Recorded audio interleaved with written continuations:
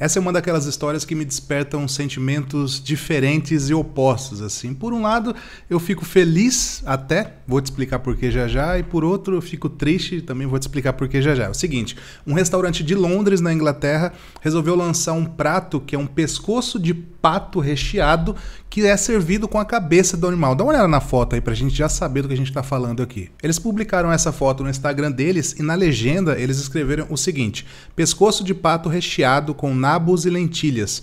Gostamos de honrar a vida dos animais com quem cozinhamos usando todas as suas partes.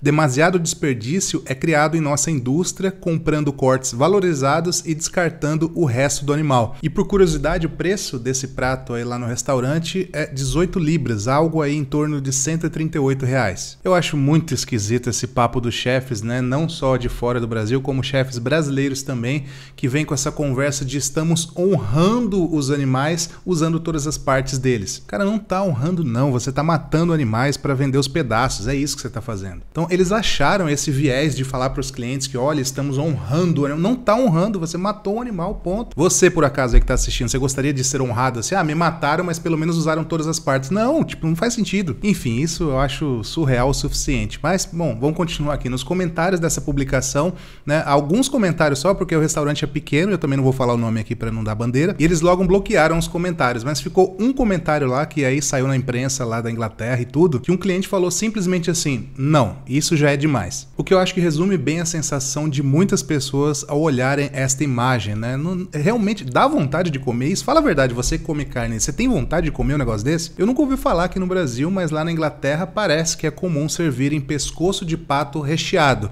mas nunca com a cabeça assim, né? Imagina isso aí no prato, como é que a pessoa come? Enfia o garfo no olho do pato, como é que é? E como eu disse no começo, isso me desperta sentimentos diferentes assim, né? Por um lado eu fico feliz, como eu disse, porque de certa forma acaba fazendo as pessoas pensarem, né? Nossa, que, que coisa horrorosa, coisa cruel, né? E aí talvez a pessoa chegue à conclusão que comer a cabeça do pato ou a perna do pato é mais ou menos a mesma coisa, né? Vai matar o pato. E por outro lado, eu fico triste, né, em ver uma cena dessa e lembrar que a gente faz isso com os animais. Então, assim, eu tenho sentimentos duplos aí quando eu vejo esse tipo de coisa. E se você que tá me assistindo aí come animais, aproveite este momento que você tá aqui, já caiu no vídeo mesmo, e pense, né? Será que você tá comendo a perna de um animal, o peito de um animal, a cabeça de um animal, o cérebro de um animal? Muita gente come salsicha, linguiça, por exemplo, que tem partes ali que a pessoa nem gostaria de ouvir falar. Então é importante a gente pensar. Aproveite este momento para pensar a respeito e deixe de comer animais. E por favor, curta o vídeo e inscreva-se por aqui. Em breve eu volto.